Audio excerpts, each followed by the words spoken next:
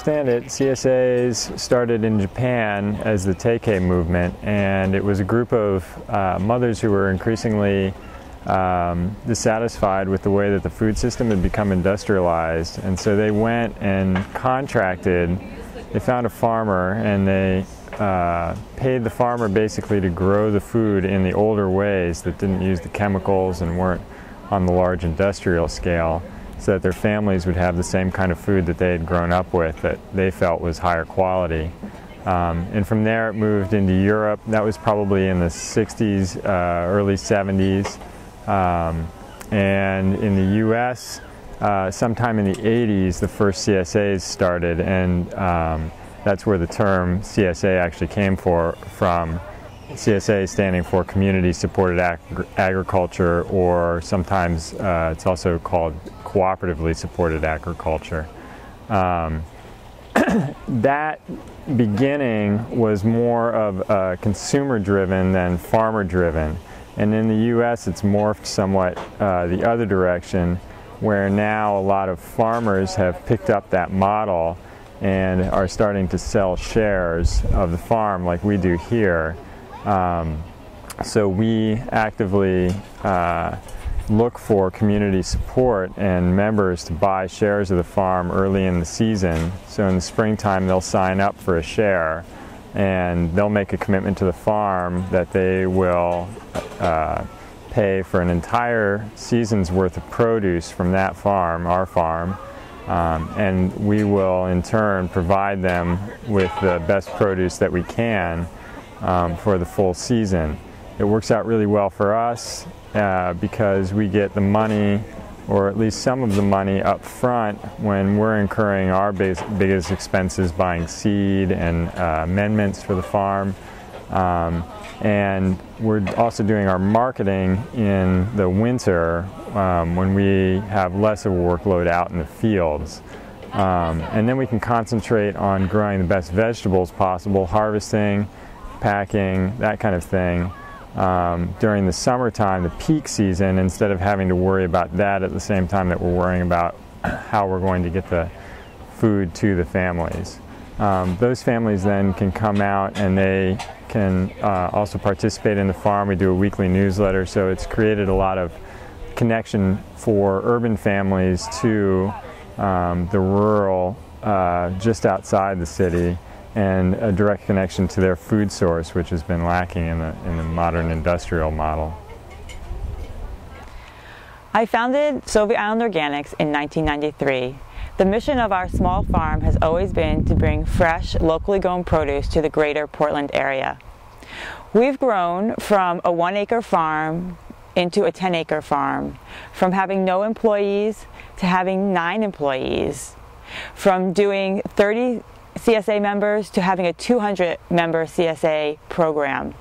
We used to do farmers markets. We've decided not to do that to concentrate on our community supported agriculture program and the restaurants we sell to. We used to sell to about three restaurants and now we sell to 23 restaurants. We encourage you to all support the local food movement. Join a CSA, shop at the farmers market, support chefs and restaurants that buy from local farmers, ask good questions, visit farms. In the winter, we spend a lot of time perusing seed catalogs and reviewing our notes from the season to make a planting plan for the following season and um, planning for our 200 member CSA and our restaurant production. This involves selecting varieties. We grow about around 50 crops and about 100 varieties of different crops. So uh, it's quite a quite a bit of planning that happens at that time of year that then is planted out through the growing season.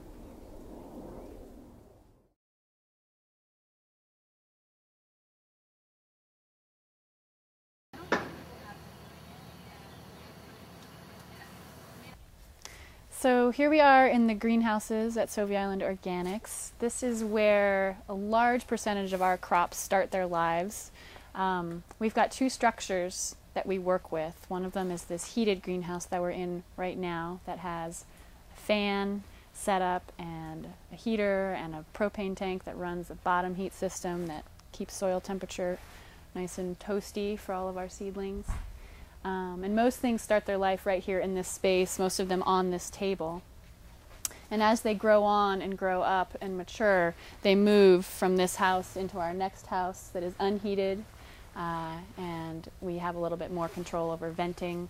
Basically, the idea is that as things mature and head head on in their life towards being in the fields, they need to go through a process of hardening off.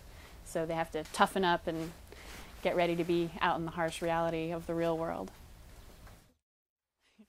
So all of the seeding that goes on in the greenhouse is either done by hand, like Martine is doing here. Um, we have different sized trays, and depending on the crop and how long that crop is going to stay in the cell tray in the greenhouse, we choose the size tray to put it in.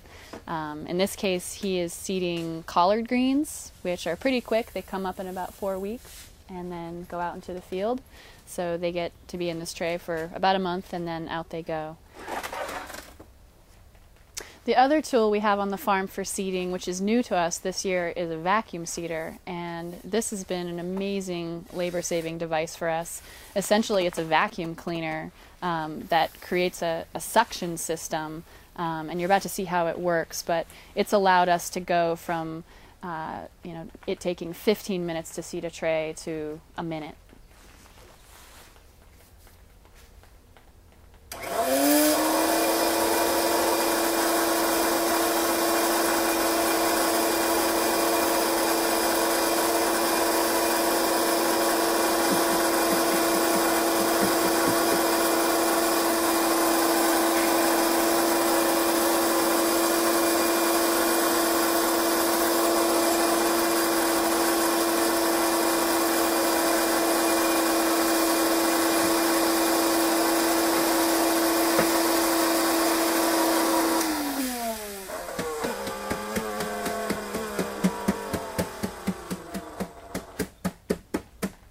So you'll see Molly is going to take the tray off and 128 seeds have fallen precisely into each cell in that short amount of time.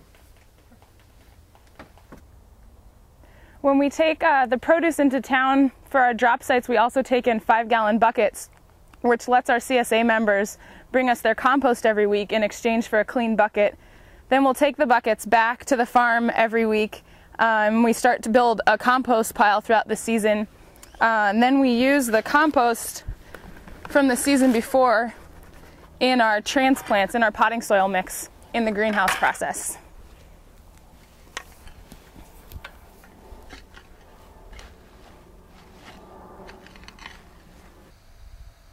In addition to the other crops that we grow, we also do a salad mix. Uh, that salad mix contains a variety of greens so different six different varieties of lettuce, arugula, mizuna, mustard greens, tatsoi, and kale.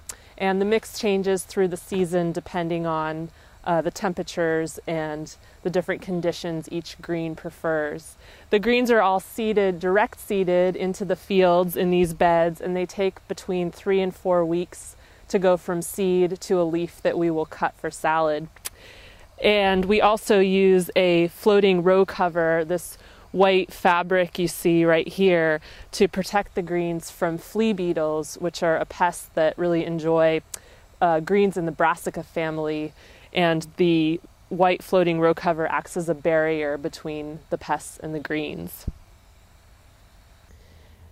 We have two irrigation systems on the farm that we use. Um, we use drip irrigation, which is using plastic tubing that sends water very directed towards each plant, and then we also overhead irrigate. Uh, for overhead irrigation, we run our water in the evenings um, through the night, so to prevent a lot of evaporation and loss of water that way. One of the ways that we control weeds here is by flaming them, and that's what I'm going to do now.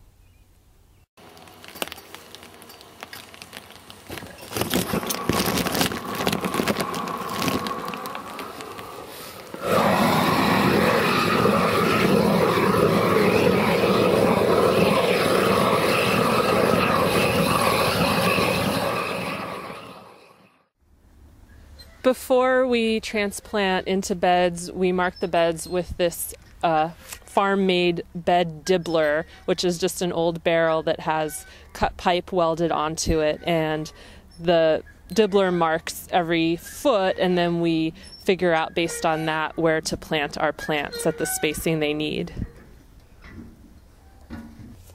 Today we're planting sugar nut melons, which are a Spanish type melon with a white flesh, and they get planted every three feet.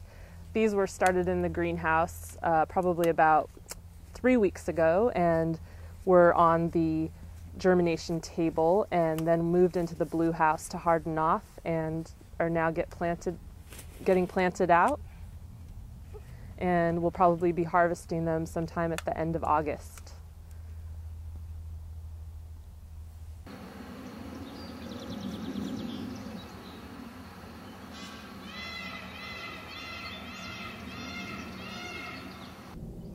Two years ago, the farm invested in these hoop houses, which are unheated hoop houses, and we purchased them to be able to extend our season. Uh, in the wintertime, we grow salad greens in this space, and the coverage helps the greens to stay dry um, and protects them from the relentless winter rains that we get here. And we also use them in the rest of the season to grow some heat loving crops such as melons. Uh, we also tried some early roots this year in these hoop houses uh, these carrots were seeded at the end of February, which is pretty early for us to get carrots in the ground. And they're right now just starting to come on. So they're early carrots for us.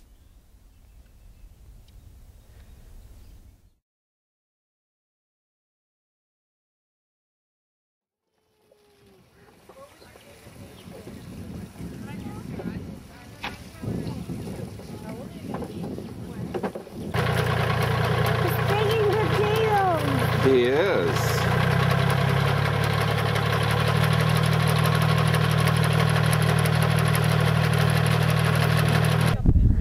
So today we're digging about uh, three different varieties. We've got Yukon Golds, uh, Sangres, and Yellow Finns. And right now everybody back here is digging Yellow Finns. Um, we've gotten all the Sangres out of the ground so far and all of the Yukon Golds are in. Um, and some of those Yukon Golds are headed back to the farm kitchen where they're going to start making french fries for everybody. In about an hour and a half or so, we'll head in, we'll stop digging potatoes, and we'll have a big lunch with everybody. The farm serves all the volunteers lunch, and that's kind of um, an opportunity for everybody to do a little bit more socializing after the work hour. I want to get these sections down here cleared out. There's quite a few, mostly potatoes down here. So. Most, there's a lot of potatoes down here. We're out here picking potato or digging potatoes today. I've been a member of CSA Sauvie Island Organic for eight years and one of the big reasons is because my daughter who's seven, um, I grew up eating totally organic as a kid, living on a farm and growing our own food and so that was one of the big things for us is to join a, a CSA so that we got fresh vegetables for our family. Hi, I'm Lori and Molly, and we have Jude and little Edie. And I've been part of the farm for five years, and this is our second year of coming out to the potato harvest. And it's great to be part of the farm. And Molly and her family, this is their first year of being part of the farm, and got them out here to dig some potatoes and see what the farm's all about and Get dirty. and get dirty. And uh, we just really love being part of the farm because every week you never know what veggies you're going to get, and and you get to create a new dinner uh, based on the vegetables that you have. So we love it.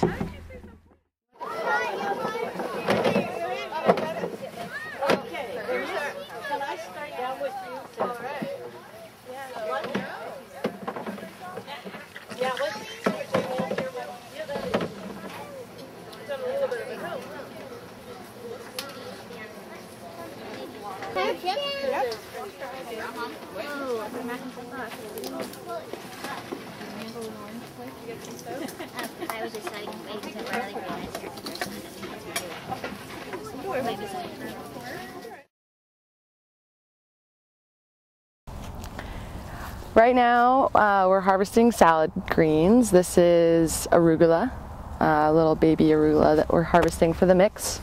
Um, there are a number of different components that go into the salad mix, including mizuna and baby chard, tatsoi, kale, um, and then little baby lettuce that we grow specifically for the salad mix.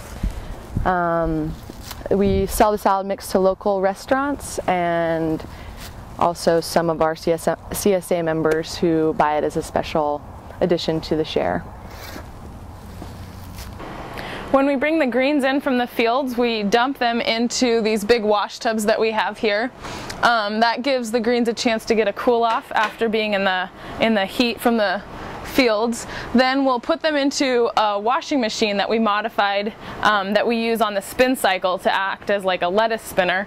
Then from the spinner we put them into this which is our salad mixer. We dump all the different components um, of the salad mix into this, close it up and it spins around and sort of tosses the greens together to mix up all the components. From there we then bag the salad um, to the orders that we get from restaurants and for our CSA and that's a finished product. So I'm washing lettuce today. I just got brought it out of the fields and this is a summer crisp lettuce. It's part of the iceberg family, so it has a very crunchy texture, um, but doesn't head up like a iceberg would. Uh, so this lettuce will be traveling to into town today and some will be traveling into town tomorrow to go to our CSA members.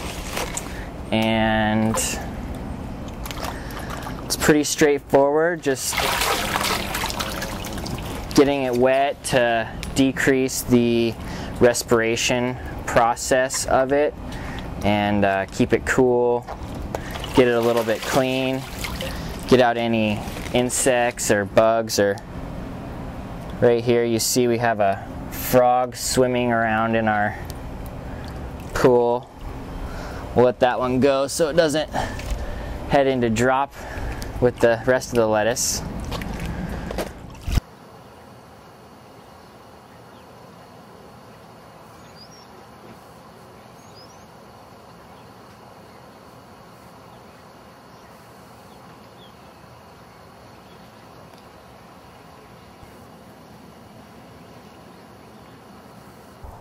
So in addition to all the produce we grow here at Sauvie Island Organics, we also grow a wide variety of flowers, both for our CSA members, for restaurants, and for sale um, to a local co-op.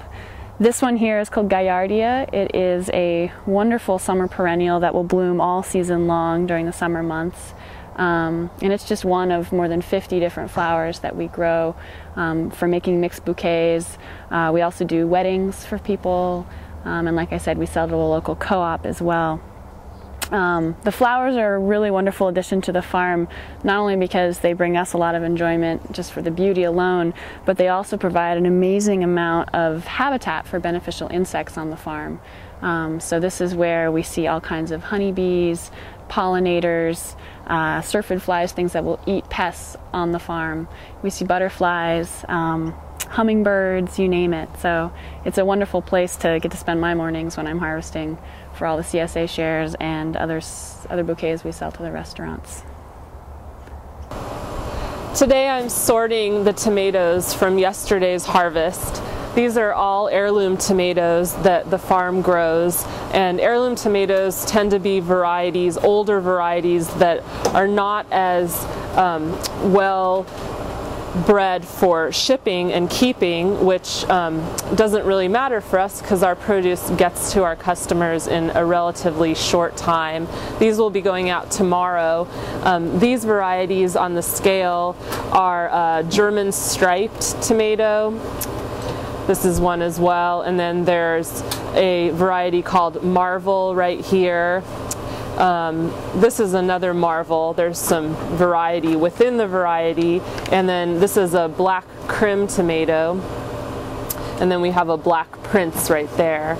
And the heirlooms just tend to be a more delicate tomato um, and also have extremely great flavor and some great colors that you can see right here. And we're sorting today both for our restaurant pack out and our CSA pack out. So today Zoe and I are harvesting corn for restaurants and the CSA members. And corn is something that we harvest only the day of. That is because once corn is taken off the stalk, the sugars will start to turn to starches and make it less sweet. And we're we're growing sweet corn, so it's very important to have it as sweet as possible. Today we're going to be harvesting a variety called Sugar Buns, which is a yellow corn variety, and we there's a lot of things we check for for ripeness. One is if the tassels are dried down. Uh, another indicator is whether or not the uh, corn is flagging or sticking off the stalk and rather than being tucked into the stalk. And then it's overall just girth. And so I'm going to go ahead and grab a corn and uh, see if one's ready.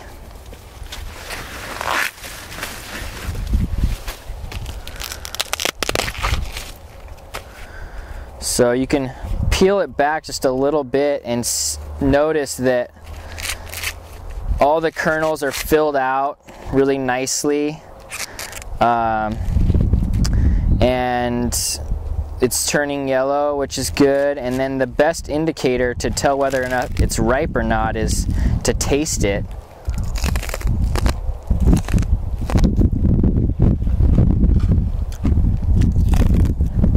Um, it's definitely ready.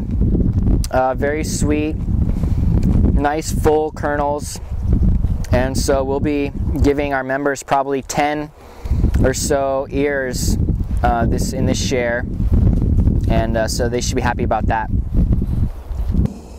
All right, so here we are out in our Haygrove High Tunnels. This is a system um, of sort of modified greenhouses that we use both to grow winter greens in throughout the cold season for salad mix and then in the summertime we transition this space into growing hot weather crops like tomatoes and melons. Um, what you see here in my arms is a kind of assortment of the different melons we're growing this year, a number of specialty melons that we're both giving out to our CSA members and also selling to restaurants, um, many of which we've never grown before. So sort of a mystery harvest for us this year, learning kind of all the quirks of each of the varieties, when they like to be harvested, um, and how to get the timing just right, because that's pretty key with melons. So uh, this is called a Tigger. It's a really nice little small orange fleshed melon. Uh, we've got honeydew, right here, a sugar nut, which is a Spanish style melon, and then a charlin, which is sort of like a cantaloupe. Let me cut one of these open for us. The best part about melon harvest is that it always involves a lot of taste testing.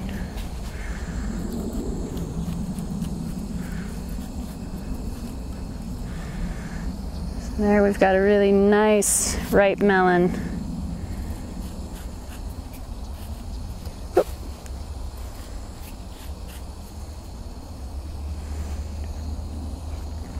Mm.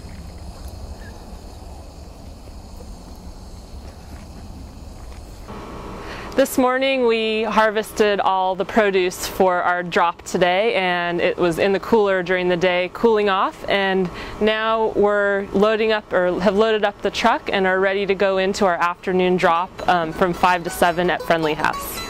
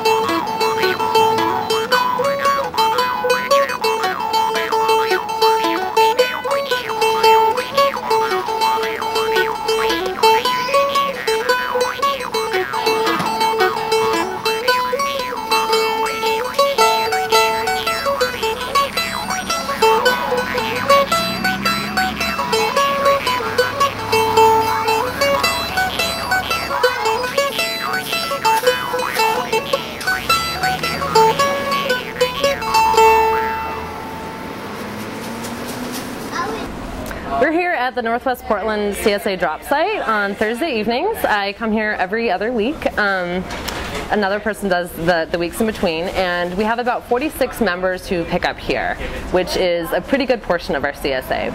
And when they first get here, they can drop off their CSA, their compost buckets, and uh, we have a compost exchange program. Um, so they can do that here, and then they come and sign in and pick up a newsletter, and then they can see immediately on our whiteboard um, what we have in the share for the week.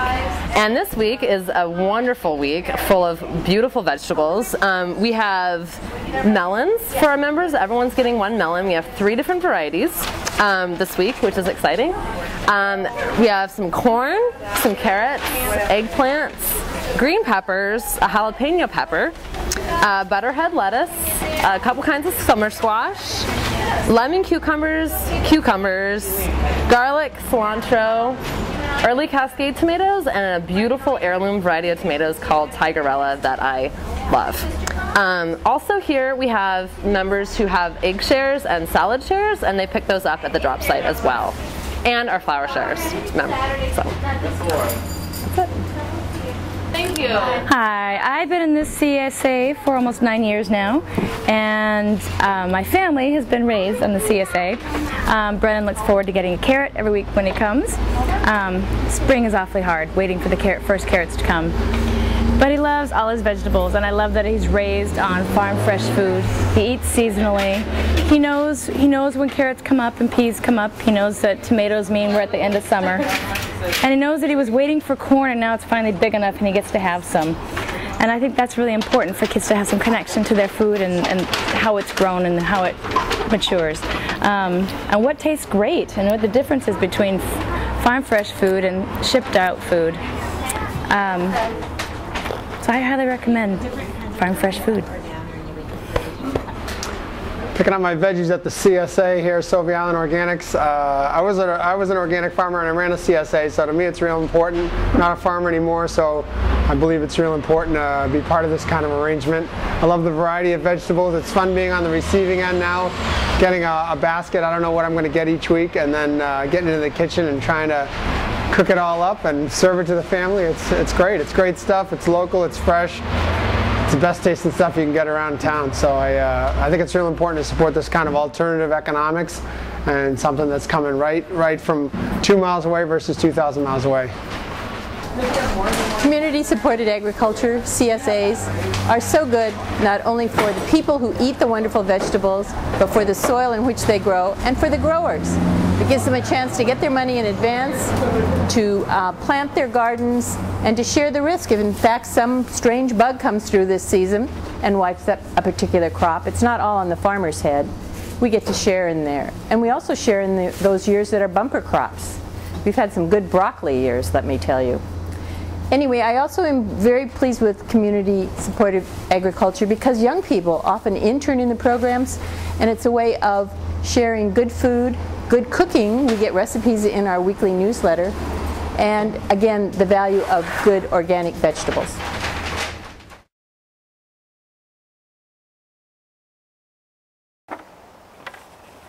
We're out in the fields today planting garlic here at Sauvie Island Organics. Uh, my son, my three-year-old son said to me today, Mama, everybody's hands are dirty. And uh, he was right. This is one of the exciting things about being part of a community-supported agriculture farm, is that four times a year we invite the community to come and help us during work parties.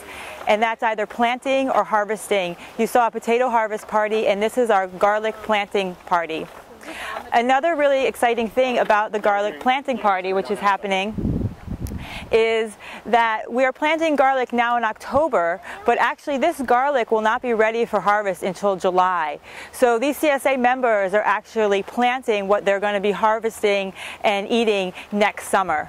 So now in October is a time that we start um, putting a lot of the farm fields to rest. We've done a lot of cover cropping. Uh, many of our summer crops are finished for the season. Tomatoes, eggplants, cucumbers, summer squash. And we're starting to get some of our exciting fall crops. We've pulled winter squash, pumpkins are coming out of the fields, we're looking at giant rutabagas, cabbages, we're getting back to kales and chards and our hardy greens. So this is all about being, being part of a CSA, is eating seasonally and knowing what comes with the bounty of summer and what comes with the bounty of fall as we head into winter. We'll be giving our CSA members produce through the last week of November um, into the first week of December. And the last drop, we give them a, a large bulk drop so that that will last them for at least a month. And then what we do is um, things slow down a little bit for us. We do a lot of planning for the next season, but really our greenhouses go back on in February when we start uh, to seed another round of our uh, onions and leeks. So um, things come back around re real quickly, real quickly for, for us. One of the sad things about this time of year is that we have to say goodbye to our wonderful second year apprentices. So they will go on to start their own farms or work in sustainable agriculture, but luckily we still have our first year apprentices here who will work with us through this time next year. And then starting in May, we'll have another crop of first year apprentices, apprentices joining us.